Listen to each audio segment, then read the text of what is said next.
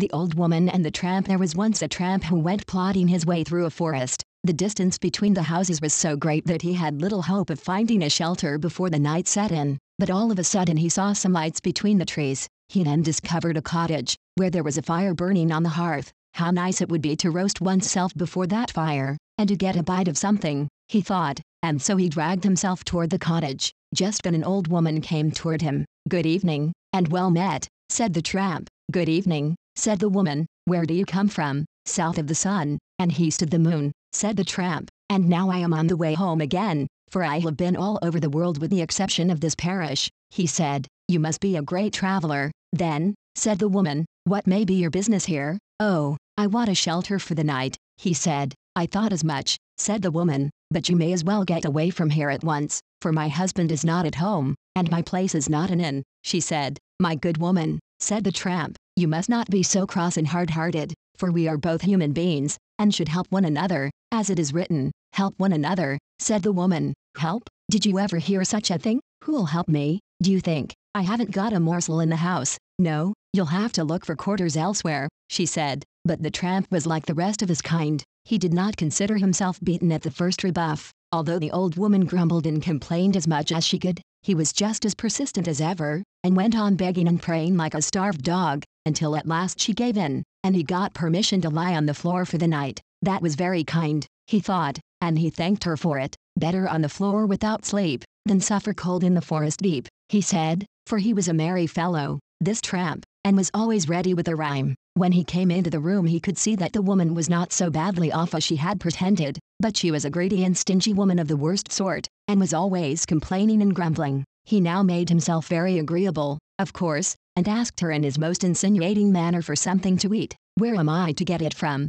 said the woman. I haven't tasted a morsel myself the whole day, but the tramp was a cunning fellow. He was, poor old granny, you must be starving, he said. Well, well, I suppose I shall have to ask you to have something with me, then, have something with you, said the woman. You don't look as if you could ask anyone to have anything. What have you got to offer one? I should like to know. He who far and wide does roam sees many things not known at home, and he who many things has seen has wits about him and senses keen, said the tramp. Better dead than lose one's head. Lend me a pot, granny. The old woman now became very inquisitive, as you may guess, and so she let him have a pot. He filled it with water and put it on the fire, and then he blew with all his might till the fire was burning fiercely all round it. Then he took a four-inch nail from his pocket, turned it three times in his hand, and put it into the pot. The woman stared with all her might. What's this going to be? she asked. Nail broth, said the tramp, and began to stir the water with the porridge stick. Nail broth, asked the woman. Yes, nail broth, said the tramp. The old woman had seen and heard a good deal in her time, but that anybody could have made broth with a nail, well, she had never heard the like before. That's something for poor people to know, she said, and I should like to learn how to make it. That which is not worth having will always go a begging, said the tramp. But if she wanted to learn how to make it she had only to watch him, he said, and went on stirring the broth. The old woman squatted on the ground, her hands clasping her knees, and her eyes following his hand as he stirred the broth. This generally makes good broth, he said, but this time it will very likely be rather thin, for I have been making broth the whole week with the same nail. If one only had a handful of sifted oatmeal to put in, that would make it all right, he said, but what one has to go without, it's no use thinking more about, and so he stirred the broth again. Well, I think I have a scrap of flour somewhere, said the old woman, and went out to fetch some, and it was both good and fine. The tramp began putting the flour into the broth, and went on stirring, while the woman sat staring now at him and then at the pot until her eyes nearly burst their sockets. This broth would be good enough for company, he said, putting in one handful of flour after another. If I had only a bit of salted beef and few potatoes to put in, it would be fit for gentlefolks, however particular they might be, he said. But what one has to go without, it's no use thinking more about. When the old woman really began to think it over, she thought she had some potatoes, and perhaps a bit of beef as well, and these she gave the tramp who went on stirring, while she sat and stared as hard as ever. This will be grand enough for the best in the land, he said. Well, I never, said the woman, and just fancy, all with a nail. He was really a wonderful man, that tramp. He could do more than drink a sup and turn the tankard up. He could, if one had only a little barley and a drop of milk, we could ask the king himself to have some of it, he said, for this is what he has every blessed evening, that I know, for I have been in service under the king's cook. He said, Dear me, ask the king to have some.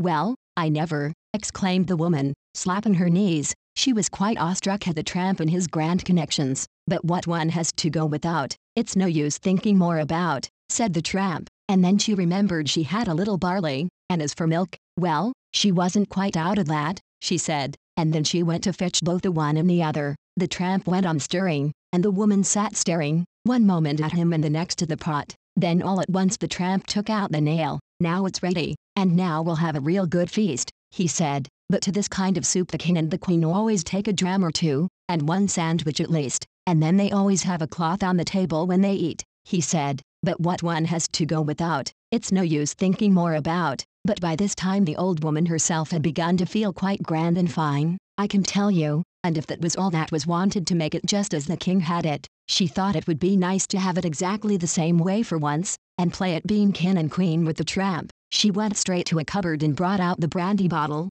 dram glasses, butter and cheese, smoked beef and veal, until at last the table looked as if it were decked out for company. Never in her life had the old woman had such a grand feast, and never had she tasted such broth, and just fancy, made only with a nail. She was in such a good and merry humor at having learned such an economical way of making broth that she did not know how to make enough of the tramp who had taught her such a useful thing. So they ate and drank, and drank and ate, until they became both tired and sleepy. The tramp was now going to lie down on the floor, but that would never do, thought the old woman. No, that was impossible. Such a grand person must have a bed to lie in, she said. He did not need much pressing. It's just like the sweet Christmas time, he said, and a nicer woman I never came across. Ah, well, happy are they who meet with such good people, said he, and he lay down on the bed and went asleep. And next morning, when he woke, the first thing he got was a good breakfast. When he was going, the old woman gave him a bright dollar piece, and thanks, many thanks, for what you have taught me, she said.